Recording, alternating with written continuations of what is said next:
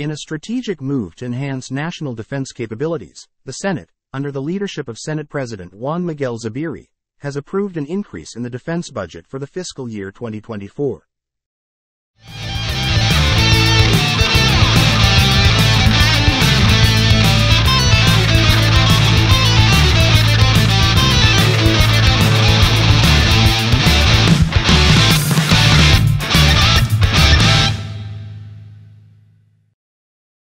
This not only reflects the government's commitment to bolstering security but also signifies a noteworthy allocation for the Philippine Coast Guard, paving the way for a substantial leap in maritime protection.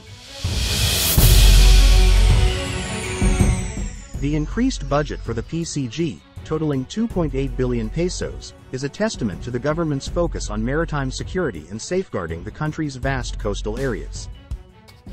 Out of this budget, a significant portion, 2.5 billion pesos, has been earmarked for the acquisition of three new offshore patrol vessels or OPVs from the renowned Australian shipbuilder, Austal. The decision to procure vessels from Austal demonstrates a commitment to quality and reliability. Austal, with its state-of-the-art facility in Balamban, Cebu, is well positioned to deliver cutting-edge vessels tailored to the specific needs of the PCG.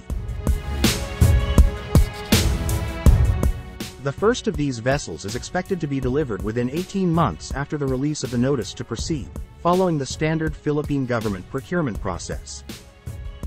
Max Defense Philippines suggests that Austal is prepared to commence the project promptly, leveraging an existing design, the Offshore Patrol 83, initially proposed to the Philippine Navy a few years ago.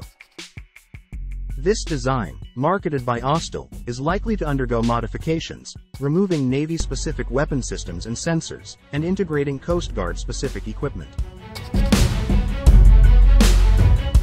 The 2.5 billion pesos allocated for the initial payment covers approximately 15% of the total cost of the three ships, projected to be less than 17 billion pesos.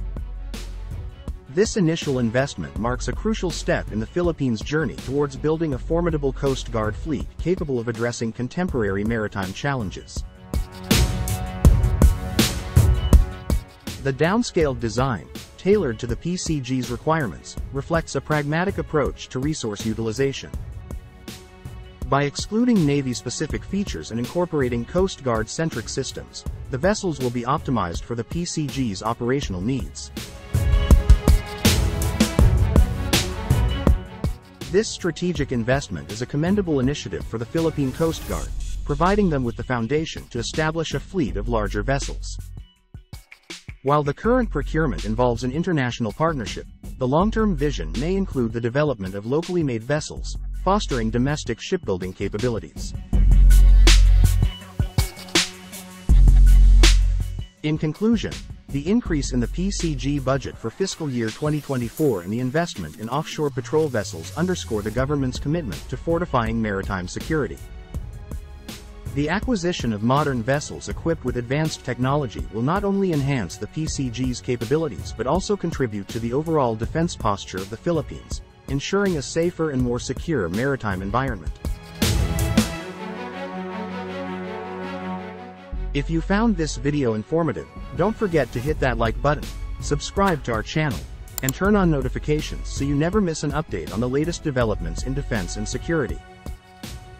This is Filipinews, signing off.